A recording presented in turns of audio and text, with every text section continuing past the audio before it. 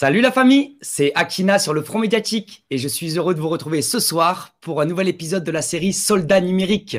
Et pour ce douzième épisode, on a la chance d'avoir avec nous Aïssam Obala. Salut Aïssam. Salut Akina, merci de m'accueillir, je suis super content d'être avec toi, c'est un honneur.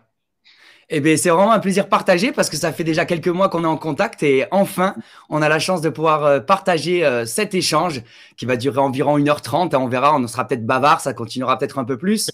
Donc, je rappelle pour ceux qui ne te connaissent pas ou peu que tu es un guerrier de l'information arrivé en 2020 euh, sur le théâtre d'opération. Tu as réalisé en octobre dernier une vidéo intitulée me forcer de porter le masque au carrefour, qui va connaître un succès assez incroyable hein, sur Internet.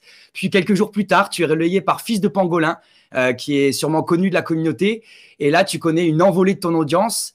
Euh, tu t'exprimes à la fois euh, face cam, tout seul, et tu réalises aussi des reportages de terrain parfois. Tu animes aussi de nombreux entretiens avec une diversité d'invités incroyable. Hein. C'est, fou tout ce que tu produis. Bravo à toi. Tu parles d'éducation, de santé, de science, de législation, d'économie ou encore d'autonomie et de spiritualité. Donc, tu abordes de nombreux enjeux de notre époque.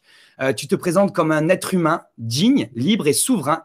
Et tu ne consens en, aucun cas euh, aucune personne euh, de porter atteinte à tes droits et à tes libertés.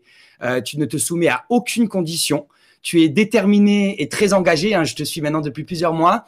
Tu es l'auteur de pas moins de 200 vidéos à un an. C'est incroyable. Tu as déjà 13 000 abonnés sur YouTube malgré la censure ou le shadow ban.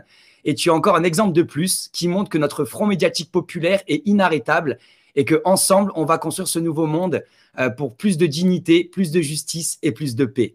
Je rappelle rapidement aussi que la série Soldats numériques propose des échanges avec des activistes pour mieux les connaître, comprendre leur engagement, ce qui les anime, parler des projets en cours et réfléchir aussi aux stratégies possibles euh, pour notre armée euh, de soldats numériques, de ces êtres humains qui veulent un monde différent.